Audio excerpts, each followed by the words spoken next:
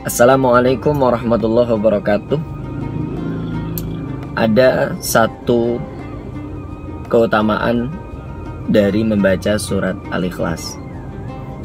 Yaitu Nabi pernah bersabda bahwa surat Al-Ikhlas adalah sulusul Quran.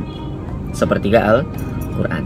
Jadi kalau kita baca surat Al-Ikhlas seperti kita membaca sepertiga Al-Quran, bagian Al-Quran.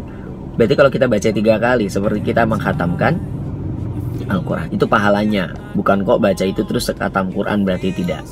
Tapi pahalanya.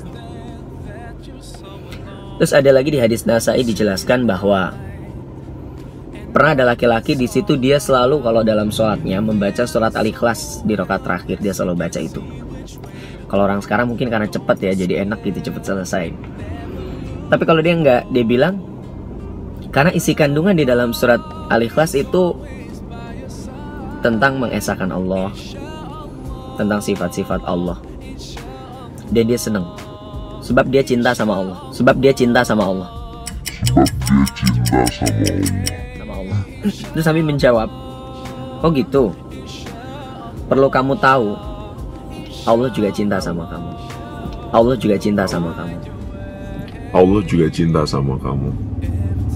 Gitu. Jazakumullah khair. Assalamualaikum warahmatullahi wabarakatuh. It's way too late. You're so confused.